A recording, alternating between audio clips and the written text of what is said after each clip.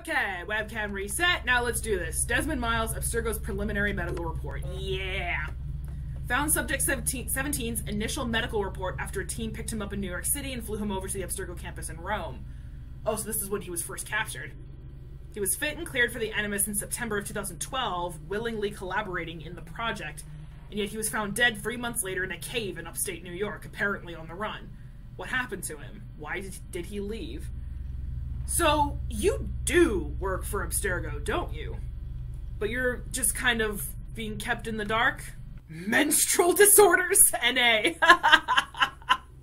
oh, that, that, that's amusing, I'm sorry. Like, again, I can't get behind the idea of the giant cyborg animus arm that they used in the movie. It worked for what they did with it in the movie, I guess.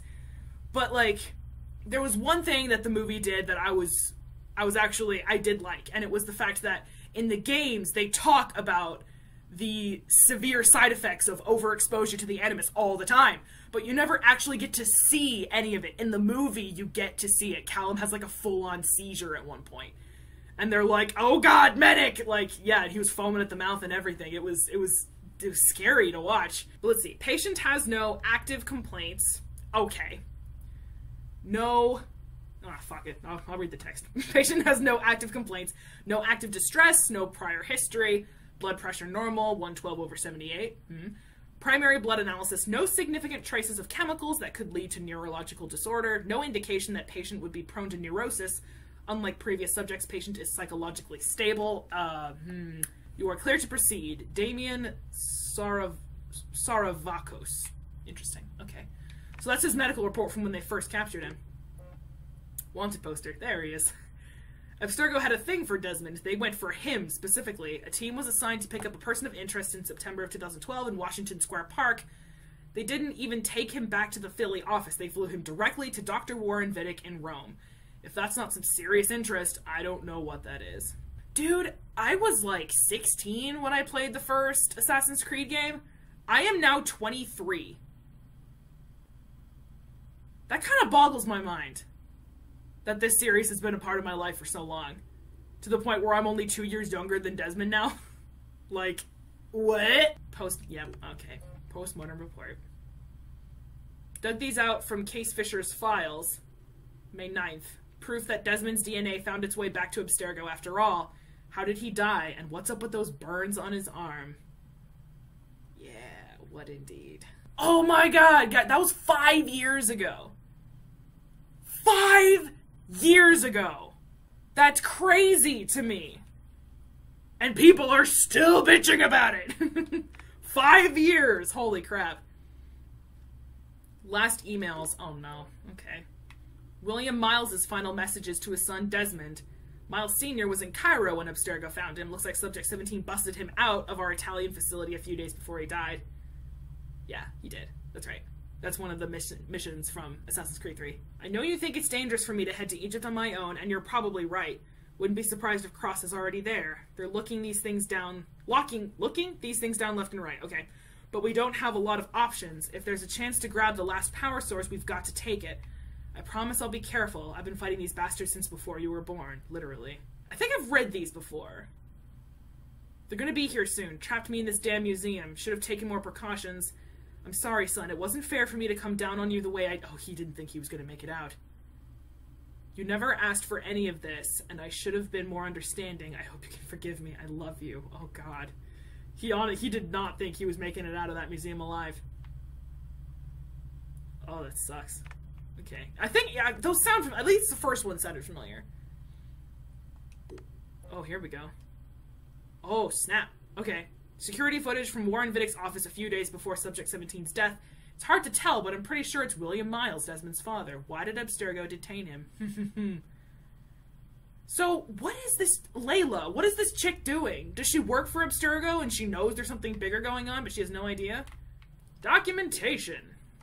Holy, holy, holy. Okay.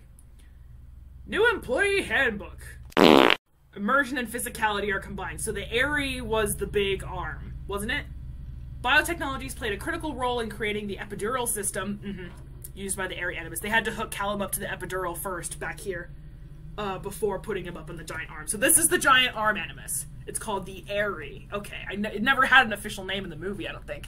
Unless I just missed it. Instead of trying to contain the bleeding effect, the Aerie unleashes it mm, and uses its potential to blur the lines between the user's reality and the simulation they're engaged in. The Aerie can only be used in a controlled medical environment. There it is. That's the giant arm from the movie. Which was weird. But it's official canon now, so deal with it. Okay. And then, of course, the portable animus, the sarcophagus, which is what Layla is using right now. Just like the Aerie, the simulation is not transmitted to the user's brain. It is physically rendered through the user's organs and interpreted by the brain as being real. Hence, why she needed the stuff for her kidneys. The epidural connection has been replaced by a hematological link. It sequences the information stored in the user's red blood cells. The result is fast, intense, and intertwined to the user's biological functions. Well, that's pretty cool. Okay, that's pretty much all I need to know. Field briefing. What am I doing out here? Oh, Deanna Geary. Okay, so D. D and Geary are the same person. Got it. Level clearance 3 and up. That's pretty high. October 20th. Historical Tactical Team Layla Hassan and Deanna Geary scheduled departure on October 22nd. Locate and recover artifact of high interest, in Qattara Depression. That's a region we can explore in, in Egypt, in, in the open world. I saw it on the map when I was scrolling around. Forecasted location that uploaded coordinates, unidentified, unidentified cave, grotto, hollow geological formation. Team is to work remotely with technician on premises and medical officer stationed at fixed accommodation location. If found, the artifact is to be swiftly retrieved and taken back to HBE.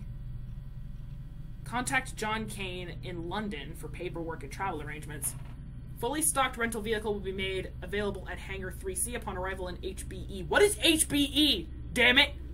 President voucher and validated accommodation information will be uploaded to the vehicle's GPS. Okay, so I'm here potentially to either recover the apple or whatever is in the vault that the apple opens.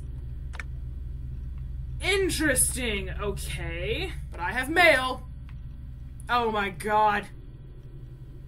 Look at all this!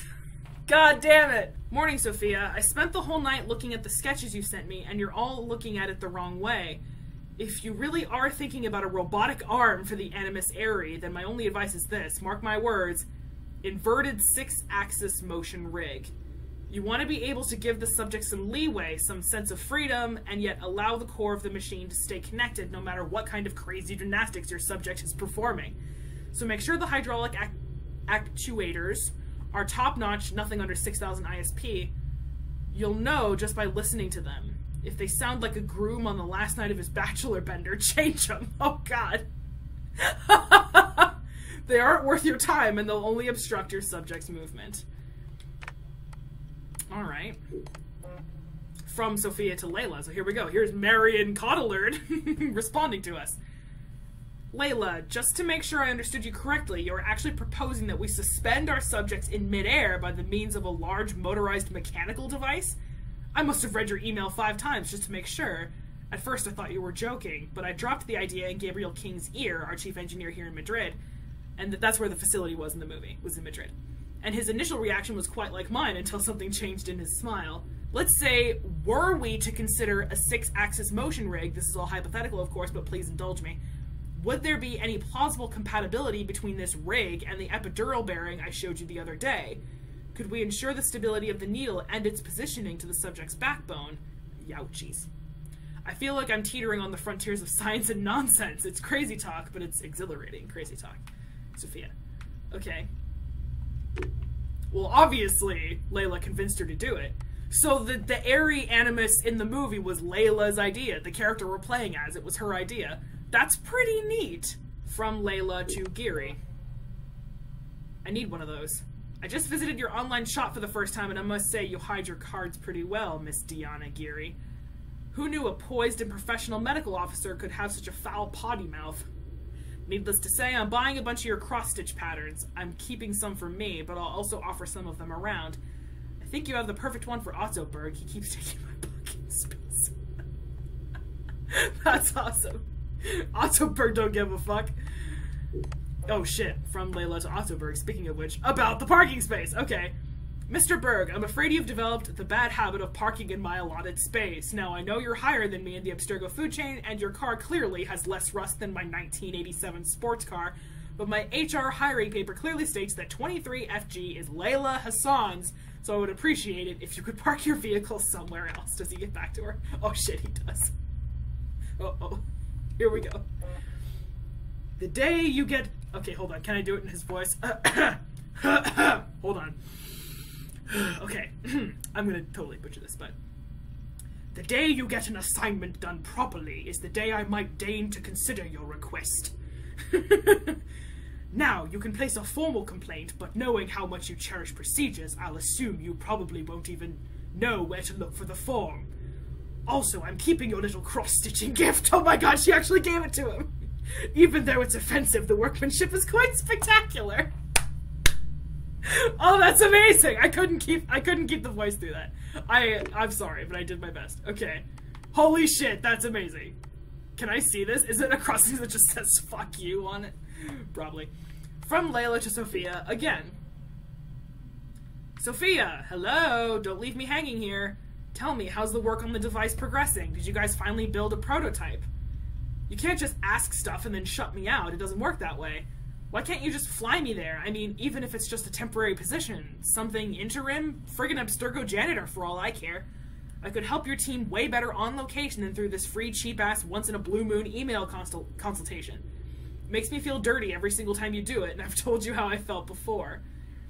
Yet here we are again. Either you don't care, or this Eureka effect is getting you drunk on epiphanies. Think about it, Sofia. This is really getting frustrating. You have to be kidding me. Sofia, I just heard you guys are working on a portable version of the Aerie. Is that true? A portable Animus? How could you not tell me? How can you still send me some bland email asking seemingly innocent questions and then turn around and work on the most exciting freaking machine ever? Without even letting me in on it while knowing it has my name all over it. Just who do you think I am? A fortune telling machine? A secret little muse hiding in the shadows? Those were good for absinthe soaked 19th century poets, and they all died of syphilis. Enough with the penny haikus of wisdom. I've given you all I have my time, my brain power, my trust. And if that's not worth a place within your team, I'm not sure what is. Still no response. And then this is Geary to Layla. Christmas vacation. Hey, Layla. Alan Rikkin died while attending something he felt he had to wear a black cape to attend to. That's creepy, I know, and you're worried sick about Sofia. That's understandable. There's nothing on his daughter in the papers of the Abstergo mem or the Abstergo memo memos. So the fact that she's not answering doesn't mean she's in harm's way. Pretending your little tinkering project is helping you change your mind is bogus, and you know it. Why don't you come to my folks' place for the Christmas holiday? We'll celebrate whatever it is you wish to celebrate, including the famous secular tradition of not celebrating anything at all, if that's what works for you. My mom will cook some pumpkin pie, my dad will ask us why we won't shoot at rodents. and we'll eat a non-vegan breakfast in a dodgy casino before we spend the day outside snowmobiling. I love North Dakota, but it could sure use a bit of Layla Hassan. Say yes, it'll be good for both of us. D. North Dakota! My mom's from there. My whole side of the family's from Fargo. You sure know how to make a girl happy. Rodents in a dodgy casino. I think I'll pass. Aw, there's nothing I want more than being with my little stone cold crazy machine right now. I've just come up with an idea for the sequencer and I can't get it out of my head. So far it's only a sketch on a dirty placemat, so I'll have to I have to get busy if I want to test it before I go into retirement, if that ever happens. Sorry, I'm being an ass. It's a very nice offer, D, and I appreciate your concern, but I'll be fine. Don't worry, I always am. If you say so, let me know if you need any help with those reports. How about we get out of here and grab some takeout? You can show me the progress on your little project. I might have an idea for the dialysis unit. Okay. Where am I? D, change of plans. I know you're waiting in your little hotel room in downtown San Francisco right now and you think I'm heading towards the wharf, but you're wrong. I had an idea and I'm about to board a flight for Tokyo. I'm on my way to On Onagawa, Japan. Don't freak out, I know what I'm doing. Just be ready to pick up on your side in 24 hours or so. I'll need your remote assist. Cover for me if dispatch calls in. Dude, what are you doing? Hey D, I wish this was an audio message so you could hear the nice roar of the portable Animus. Everything seems to be in perfect order. The software is running, my vitals are showing perfectly, and all the tests done on the DNA samples are turning up positive. I've combined some strange strands, and somehow the sequencer always returns a valid simulation to play. I haven't dared to go into any of them, not alone, not without you, and the Animus isn't ready for a live test either. Maybe I'm just buying time, but that combined strand of both you and Milton looks tempting. All in due time. All in due time. Milton? God, I've been in here forever, but okay. From Deanna to Layla. Are you flippin' insane? There's so much to yell about, I don't even know where to start. Milton's DNA? Really? Layla, how can you bring him into this? The poor guy, give him a break. I mean, you want to use Subject 17's DNA, fine, he's dead, but Milton? My Milton? You access his file to save his ass and you think stealing his DNA profile at the same time is okay? I'll tell you once, my, my man is off limits. You erase the data now. So Deanna's husband, boyfriend, I don't know. Oh, and yes, there was the second thing. Do not go into your animus. You're a whiz and a genius and a geek and an engineer extraordinaire, but you're not insane. We don't know if it works, we don't know what it does, and we don't even know what kind of simulation it runs. Remember the story about Eileen Bach, Subject Zero? Boy, do I. The Surrogate Initiative. She was exploring other people's genetic memories and ended up dead with an effing fried brain. You're not toying with an Omega Animus, Layla. It's the real thing. And if you ever want to go in there, we'll need to take all the proper precautions. Please, Layla, I'd hate to see something happen to you. Just wait for me, okay? That was back in September, October 20th. Eight days ago. Egypt, here we go. Hey D, can you pack the sealed container with the immunosuppressants, just in case? I know the assignment states we're going after yet another artifact of high interest, but, well, you never know. What if there's something else? Can you imagine? This could be a chance to try out our version of the portable animus in the field. I'm not talking about actually synchronizing with the simulation. Well, I might, but I'm not, really. I promise. Okay. but you never know. Maybe I'll just do a sequencing test if I find something. If. See? It's conditional. I'll repeat it one more time. If. Feel better? Time to pack. Still good for tonight. Drinks are on me. Last one. Layla to Deanna, what if? D. Wow, why is my head still spinning? I barely had more than a few drinks. But I just thought of something. You know how the Animus sequences DNA to run simulations based on genetic memories? What if, and this might be the fifth old-fashioned talking here, uh, what if we could actually find a way to do the same through inorganic matter? What? Woman, you're drunk. okay, maybe molecules are too big. Maybe we need to consider the, that the information might be stored deep down at the subatomic level. Why would memory latch uniquely onto organic molecules? I mean, I've seen stranger things, but somehow I just can't find any plausible reason why it wouldn't. I wish my middle of the night emails were more about a date I just kicked out or an obnoxious neighbor. Sorry, I guess you're stuck with me, lucky girl. You're drunk. You're drunk. Non organic matter having memories? Memories! Brain! Blood! Organs! A wall doesn't have any of those. Riding my bike in Queens without my training wheels. Aw, she was a cutie. Helmet looks a little big for you. of course it is, they always are. 94, the year I was born, up to no good. Taking a part of telephone. Alright, Alexander Graham Bell. New York City, 2000. There they are! Backstage at the Raw Victoria concert at Madison Square Garden. That is pretty cool. Berkeley, California, 2004. Best use of Berkeley's dorm, sleeping. She's like, no press, no press! The Call of Adventure. See you later, Philly. My entry for the do-it-yourself pinball contest. Pretty cool. And 2017. Hey, I'm Layla. Ask me anything. Oh, that's what AMA stands for. That's right. Ask me anything. Got it.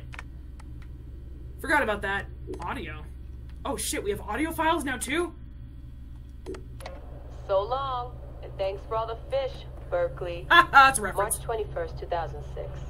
The day Layla Hassan drops out of college. That's right, Professor Moore. I'm not finishing that Jane Eyre paper. I got a job, and I'm headed to Philly next week. This whole classroom thing, it's not for me. Mom and Dad are freaking out, but they'll accept it. I'll be working towards something real, making real money, and I'll be closer to home. Not that I'll visit any more often. Sofia promised there would always be a place for me at Abstergo, as long as I show them what I can do with a circuit board and a pair of pliers. Sure, I'll have to work my way up to a place on her special project, but that doesn't matter. It won't be long before she or her father, Mr. Alan Ricken, notices what I'm capable of and asks for my help on the Animus. So is it Ricken or Riken? Everywhere else I've seen it's Ricken. She just said Ricken. In the movie it's Riken. Of course those people had British accents. But still. Like, make up your mind on how things are pronounced, damn it. Okay. Your I memes. swear, I get more done reading the latest copy of Wired on the toilet than the rest of the guys do all day in the lab. I mean, the body band? Really? If people can't take a walk on their own, they aren't going to listen to a watch that tells them to do it either. This is all so pointless. I should just go back to. Wait. That's probably what the body band would tell me to do. What I should do is build something that will simultaneously blow people's minds and the doors off the Animus Project. Nothing at Abstergo Fitness is going to be big enough for that. I'm bored as hell. But there's nothing like boredom to stimulate creativity. Yep. I think the body band needs a little adjustment to its language processing program. Okay. she was on the toilet saying that. The right decision always feels like home. My stuff's the same. My locker smells the same. It's like I never left. But I did. And I can never unlearn what I know now. How will it change my work at the Historical Research Division? Hard to say. All I know is that it will. Our Dom booked us a lunch. Nothing fancy. She wanted me to meet Deanna Geary, my new medical officer. She looks like she was born in the middle of a cornfield, but she seems okay. It's North Dakota for you. I can't believe she left homemade cookies on my desk. I don't know why I told her about getting stood up last weekend. I never talk about personal stuff at work. At least it seems like I can trust her. You need that to stay alive in the field. Too bad most of Abstergo's tactical units don't consider trust a priority. Yeah, well, that's cause they're dicks. Okay. Triggered. Hey, Halloween.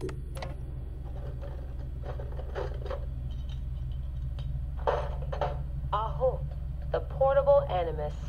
No mention in the official credits, but all those emails, all those middle of the night phone calls from Madrid, there's a lot of me in there. Sofia, if I'd known you just wanted to strip mine my brain and leave me in the dark, I never would have followed you. Go away! There's no candy here! Nothing in life is ever free. Ever. The Animus.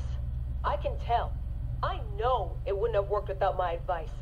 Just look how they did the heat sink, the VRMs, the high amperage rating by transistor. It was me who told them it would offset failure of the. What's this? Hello there, DNA reader module. Are you ringing my doorbell? Maybe there's some candy here after all. Yeah, they stole her ideas. Sofia took her advice and then just shut her out. Bitch. Okay. I've come to the conclusion that Sofia is shit at hiring staff. The entire Madrid facility. Ugh. How do they not see it? It would be so easy. You just have to parse the genetic memory input and work from smaller data pools. You could even process incomplete samples and still create a reliable model for high levels of synchronization. The reader module and the decryption software would need an update, but it's doable. Madrid's probably congratulating themselves just for getting this far. Meanwhile, I'm partying with some congealed veggie curry, three plasma screens, a disassembled Animus, and Raw Victoria's debut album on loop. Hectic. Dee will be mad when she sees how I use Milton's DNA, but what did she expect when she asked me for help? I needed someone's genetic profile to test the Animus, and, well, his was right there. All in the name of science. A girl called Deanna. I like morning briefings. They're short, minimal nonsense, and they have free coffee. No downtime this week. They're putting me and Dee on a plane to Alexandria two days from now. I don't get why Hathaway's in such a rush. We're being deployed to extract an artifact. If it were a person of interest, the push would make more sense.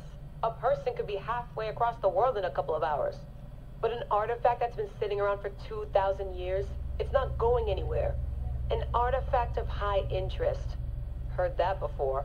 It always ends up being some crappy pottery shard or half an old book. Yeah. My Animus runs on DNA, not tableware. It'll be strange visiting Egypt for the first time since 2013. Back then, I went looking for my roots and found trouble instead. It's good that Dee's coming. She always keeps me from doing anything too stupid. What does that mean? You found trouble instead. Interesting. Uh oh. Found the mother lode. Here we go. Turns out the artifact of high interest is also a person of interest. A mummy. And a golden opportunity. I've informed Dee of some changes I'm making to our assignment parameters.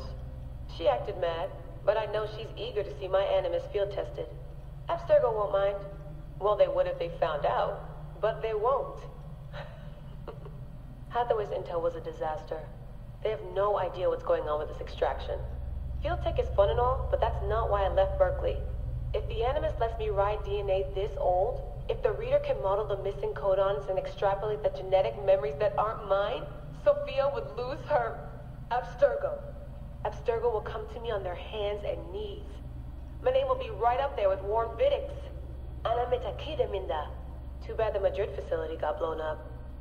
But I bet they'll build a new one soon. This one will be in Philly, and its lead engineer will be Layla Hassan.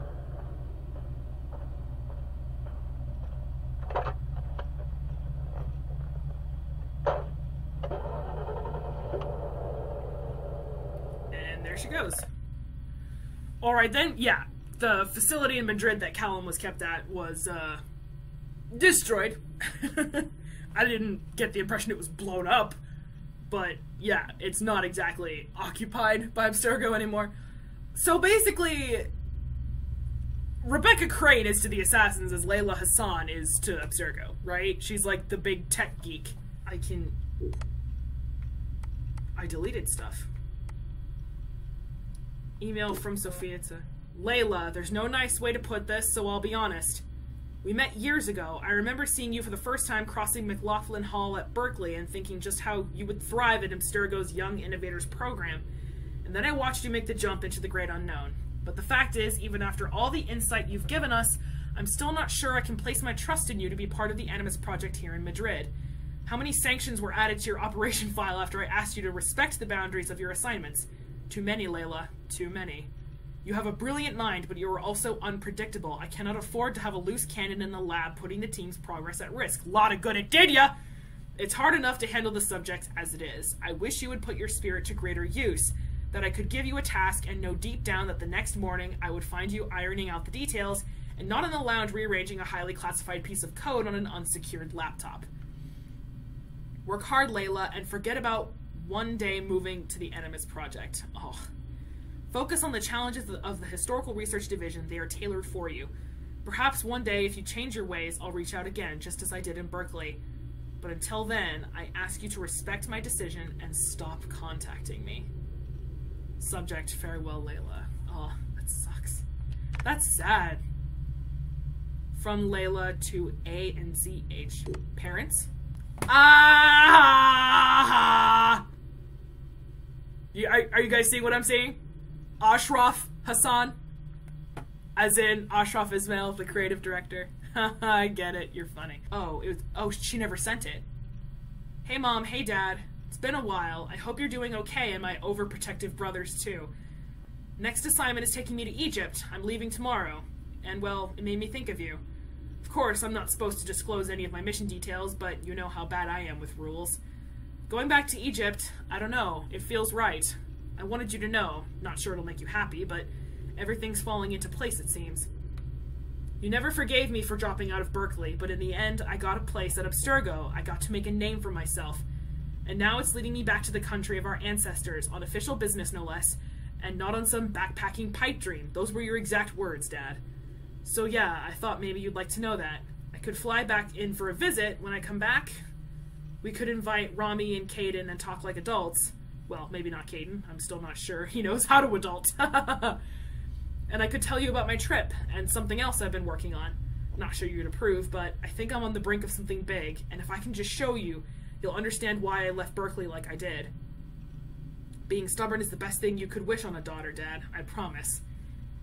Yeah, I killed the family phone 20 years ago, but because of it, and because of all the other appliances I might have sacrificed along the way, I can build a mean machine today.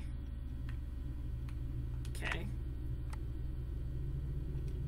From Layla to her brother Rami. Not sent. Subject, just do it. Rami, long story short, I'm standing in the middle of Alexandria's very busy souk district. Egypt, not Virginia, Rami. and I have no time for email etiquette. I just need you to send me this picture of mom, the one we took in Florida while we were visiting all the parks. Disney World? I think I just found the perfect headscarf to replace the one she lost while we were on the trip years ago. Oh, and don't tell me, don't tell them where I am. It's a surprise. She never sent it. Oh, why didn't you send it? Damn it. Well, that seems like pretty much everything.